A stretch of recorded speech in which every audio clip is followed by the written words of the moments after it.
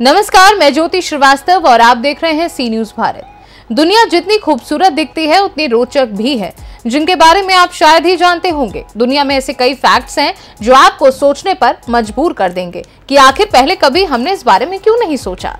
ऐसे ही फैक्ट्स लेकर हम आपके लिए आते हैं हमारे खास प्रोग्राम फैक्ट डोज में। तो चलिए शुरू करते हैं आज के रोचक फैक्ट्स का सिलसिला।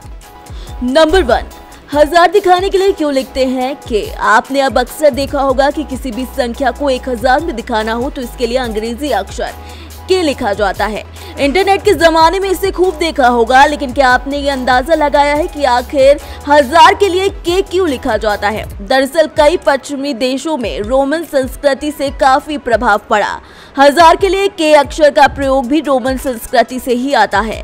ग्रीक में चिलियोई का मतलब होता है हज़ार। वहीं से ये शब्द आया। इसके अलावा बाइबल में भी के शब्द का इस्तेमाल किया गया है। फ्रांसीसी लोगों ने ग्रीक शब्द चिलाकोई को ही छोटा करके किलो कर दिया। इसके बाद किलोमीटर, किलोग्राम इन सभी का अनुमान लगाया जाने लगा, क्योंकि किलोग्राम में एक हज़ार ग्राम होता है, ऐसे में हज़ार का साइन के बन गया। नंबर टू महिलाओं का दिमाग पुरुषों की तुलना में क्यों रहता है ज़्यादा गर्म? हमारे दिमाग और हमारे शरीर पर हमारी क्रियाओं का काफ़ी असर पड़ता है। दिमाग हमारे शरीर के बाकी हिस्सों से ज़्यादा गर्म भी होता है। हालाँकि महिलाओं का दिमाग पुरुषों की तुलना में भी ज़्यादा गर्म होता है, जो लगभग 105 डिग्री फॉरेनहाइट से भी ज़्यादा हो जाता है। ये अंतर सबसे ज़्यादा पीरियड के कारण होता है, क्योंकि ज़्यादातर महिलाओं को उनके चक्र के बाद ही ओव्यूलेशन चरण के दौरान स्कैन किया गया था। रक्त की आपूर्ति के बिना मानव शरीर का एकमात्र हिस्सा कॉर्निया है, जो हवा से ऑक्सीजन प्राप्त कर सकता है। इसीलिए महिलाओं का दिमाग ज़्यादा गर्म रहता है। नंबर थ्री क्या आपने कभी रात में देखा है इंद्रधनुष? आप सभी ने इंद्रधनुष तो कई बार देखा होगा। सभी को ये पता होगा कि इंद्रधनुष में सात रंग होते हैं। लेकिन क्या आपने कभी रात में रेनबो देखा है या फिर सुना है? तो आज हम आपको उसके बारे में बताने जा रहे हैं। रात में दिखने वाले इंद्रधनुष को मूनबो कहा जाता है। ये एक ऑप्टिकल घटना होती है जो हवा में पानी की बूंदों के माध्यम से चंद्रमा से अपवर्तित प्रकाश के कारण दिखाई देती है। ये इंद्रधनुष पूर्णिमा की चाँद के साथ काफ़ी ज़्यादा सुंदर दिखता है। नंबर फोर समंदर के किनारे ज़मीन होती है क्या?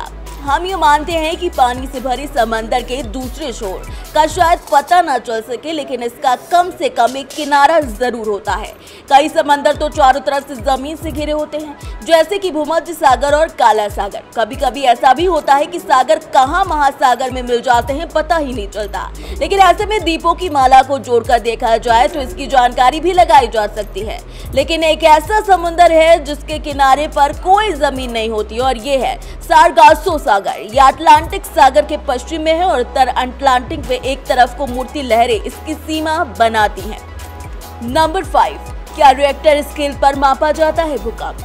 स्कूलों में हमने यही सीखा है कि भूकंप की तीव्रता को रिएक्टर स्केल पर मापा जाता है, लेकिन असल बात तो यह है कि पूरी तरीके से सटीक जानकारी नहीं देता। 1930 में भूगर्भ विशेषज्ञ चार्ल्स रिएक्टर और बोन गुटबन ने केवल कैलिफ़ोर्निया में भूकंप के कारण पैदा होने वाली ऊर्जा मापने के लिए इसे बनाया था। ये एक तरीके का सिग्मोग्राफ था। इसी कारण 1970 में एक नई प्रणाली का इजाद किया गया, जिसे आज भूगर्भ वैज्ञानिक मानक के तौर पर इस्तेमाल करते हैं। इसे सिस्मोलॉजिकल स्केल कहते हैं। सिस्मोलॉजिकल स्केल का इस्तेमाल बड़े पैमाने पर होता है। ये मुश्किल नाम होने के कारण इसे रिएक्टर स्केल के रूप में लिखा जाता है। तो अगली बार अगर कोई आपसे रिएक्टर स्केल पर आठ तीव्रता के भूकंप के बारे में बात कहे तो समझ लीजिएगा कि इसका मतलब सिस्मोलॉजिकल स्केल से है। तो ये थे आज के कुछ खास फैक्ट्स ऐसे ही और खास फैक्ट्स लेकर हम फिर हाजिर होंगे। तब तक के लिए देखते रहिए सी न्यूज़ भारत। नमस्कार।